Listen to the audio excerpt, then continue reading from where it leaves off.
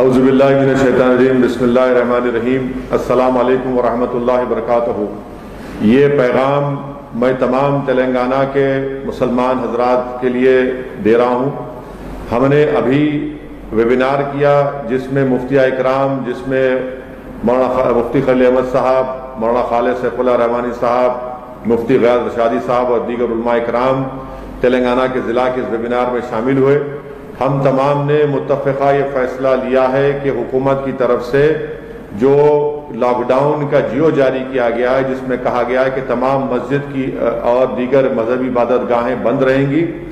اور میری آپ سے گزارش ہے کہ عید کی نماز آپ اپنے گھر میں ادا کریے۔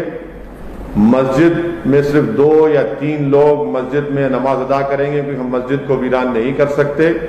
اس ویبینار میں ہوم منسٹر صاحب کو بھی ہم نے کہہ دیا ہے۔ انہوں نے بھی کہا ہے، ڈی جی پی صاحب سے میں نے بات کی ہے، تو میری آپ تمام حضرات سے اپیل ہے کہ عید کی نماز ہم کو اپنے گھر میں پڑھنا ہے۔ ہمارے مقامی مسجد میں تین سے چار افراد جو مسجد کے خدمت گزار ادا کریں گے۔ کووڈ کا پورا لحاظ رکھیے، ماسک پہنیے، لاک ڈاؤن کے گائیڈ لائنز کو فالو کریے۔ یقیناً اس لاک ڈاؤن سے غریبوں پر بہت بڑا تکلیف بنے گی۔ میں شروع سے لاک ڈاؤن کے خلاف رہا ہوں۔ مگر ہائی کورٹ کا فیصلہ ہے، آرڈر ہے اور حکومت نے جیو بھی جاری کیا ہے۔ تو میری آپ تمام سے گزارش ہے کہ عید کی نماز گھر میں پڑھیے۔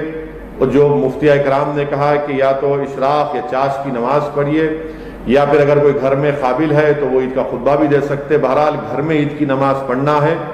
کثرت سے دعا کریے۔ اور ڈرنے اور گھبرانے کی ضرورت نہیں ہے۔ ہم اللہ سے دعا کرتے ہیں کہ اللہ سبحانہ و تعالیٰ اس وبا سے پورے ملک کو چھٹکارا دلا دے، تلنگانہ ریاست میں اللہ اس کو خوشحال بنا دے، تمام انسانیت کو اللہ اس وبا سے چھٹکارا دلا دے۔